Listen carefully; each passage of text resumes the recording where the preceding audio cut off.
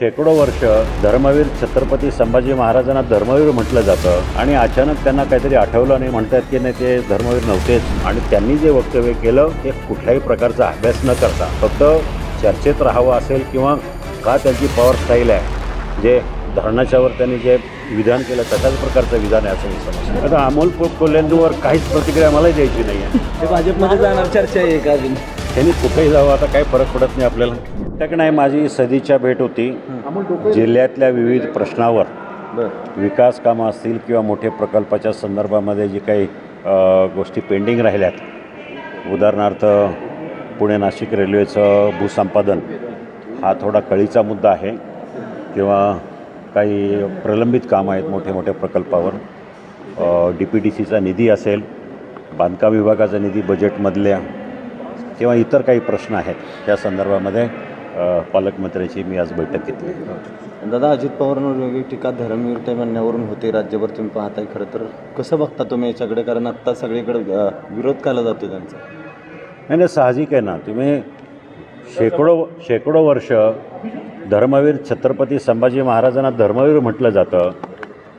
आणि अचानक त्यांना काहीतरी आठवलं नाही म्हणतात की नाही ते धर्मवीर नव्हतेच. धर्माचा त्यांनी पुरस्कार केलाच नव्हता. अरे ज्या माणसानं आपलं शरीराची हे प्राणाची आहुती दिली धर्मासाठी आता हे त्यांना नव्यानं इतिहास शिकवायला पाहिजे. खरं म्हणजे राष्ट्रवादीला काय झालं कळत नाही.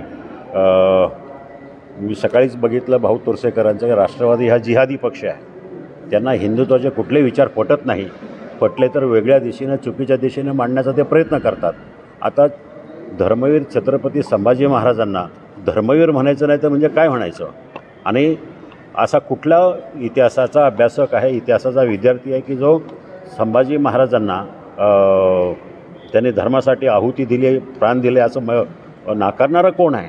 मग यांना का असं करावं वाटतं आहे साहजिकच महाराष्ट्रामधून संतापाच्या भावना जागोजागी कानाकोपऱ्यावरून येत आहेत आणि त्यांनी जे वक्तव्य केलं हे कुठल्याही प्रकारचा अभ्यास न करता फक्त चर्चेत राहावं असेल किंवा का त्यांची पॉवर स्टाईल आहे?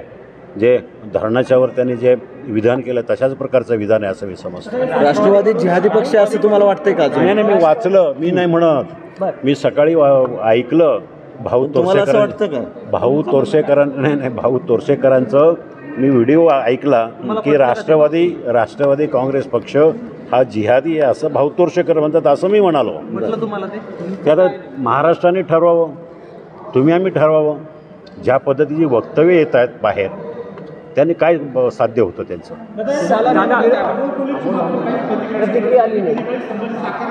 आता अमोल को- कोल्हेंवर काहीच प्रतिक्रिया मलाही द्यायची नाही आहे सर ते भाजपमध्ये जाणार चर्चा आहे का अजून. त्यांनी कुठेही जावं आता काही फरक पडत नाही आपल्याला. बरं वारंवार विरोधी पक्षाकडनं असं सांगितलं जाते की हे सरकार दोन हजार तेवीसमध्ये पडणार. सामन्यामध्ये त्याच्यावर आग्रह लेखाला संजय राऊत आज पण बोलले. स- विनायक राऊत बोलतायत हे सरकार पडणार. काय संकेत